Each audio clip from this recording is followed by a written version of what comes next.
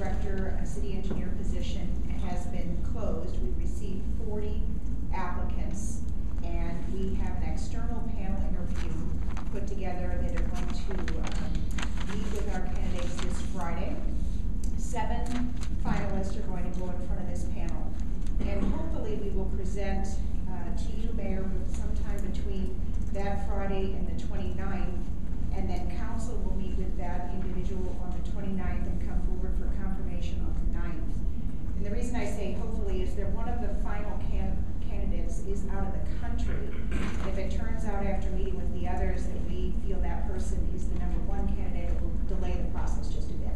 But if not, we will move forward as, uh, according to schedule, meeting with council on the 29th and coming forward for confirmation on the 9th. The city clerk position has been posted and also has been removed from posting. I am in the process of pre-screening with phone interviews.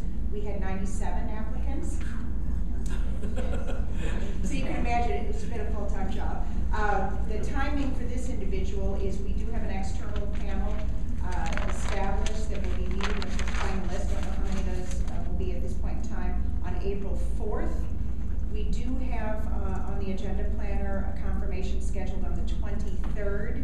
It just kind of depends on how it plays out between now and then, whether we can make that twenty-third, but it is a a placeholder, so council will meet with that individual sometime in advance that Amy uh, will coordinate with all of you.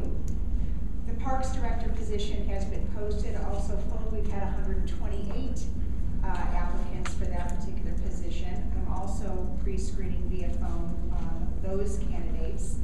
The external panel interview is scheduled for April second, Wednesday, April second.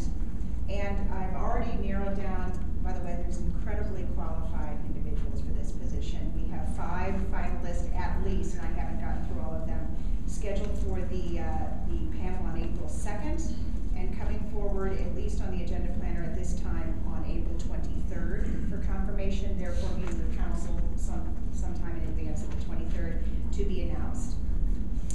The uh, chief financial officer position, we have resumed our, our search for that. That position is still posted.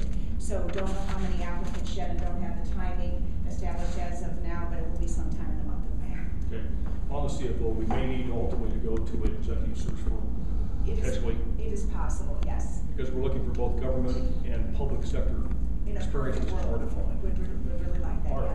Approach on this will be, for, for each of these positions, if, if the candidate is comfortable with her or his identity being known, then we're gonna, we're gonna, uh, arrange opportunities for everyone on council to meet, meet that, can- that, uh, appointee, uh, right, everyone. uh, if- if- Whoever is available on the particular day, yes. And if, how gonna do that. So it's only if we have another situation where the, the candidate wants the identity to be, uh, confidential, that we, then, then we revert to asking God, uh, to name two councilors to with that person, right? And then the day before, the informal, uh, in in executive session, we'll share that person's resume with all council, so is that, is that what we're gonna do? Is that the plan?